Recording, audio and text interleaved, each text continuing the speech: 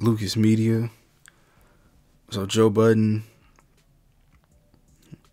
has finally got security after recent run-ins with saying the incident happened at the club, and they're saying the incident happened with Senior Pena brother running up on him.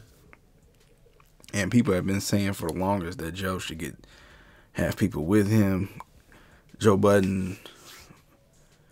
The first video was a Pena brother. Joe Budden was by himself and maybe one or two other people, but you could tell he was by himself.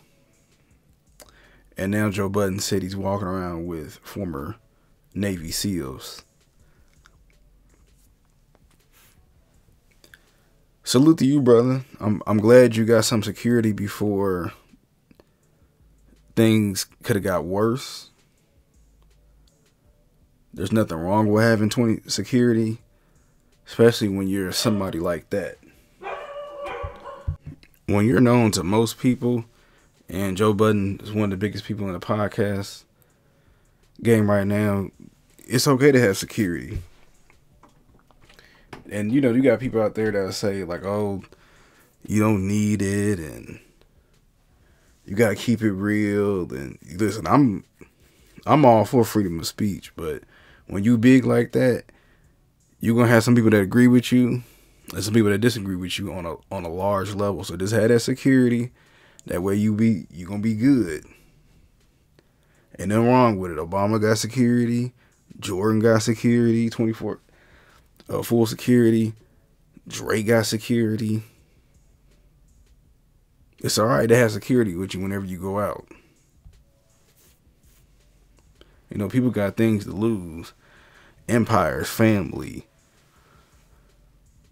And just having just having, you know, one or two people with you, you be good. You know, when Jay and Beyonce be out, they got security with them everywhere they go. It shouldn't have to be like that. I get it.